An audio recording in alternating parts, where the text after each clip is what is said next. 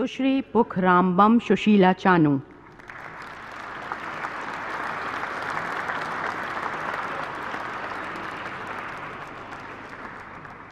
Hockey की उत्कृष्ट खिलाड़ी सुश्री पुखरामबम सुशीला चानू ने 2023 को चीन में आयोजित 19वें एशियाई खेल में एक कांस्य पदक 2022 को इंग्लैंड में आयोजित 22वें राष्ट्रमंडल खेल में एक कांस्य पदक और 2022 को वेलेंशिया, स्पेन में आयोजित एफ़ नेशंस कप में एक स्वर्ण पदक जीता।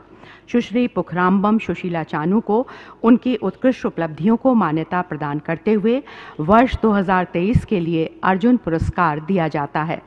सुश्री पुखरामबम सुशीला चानू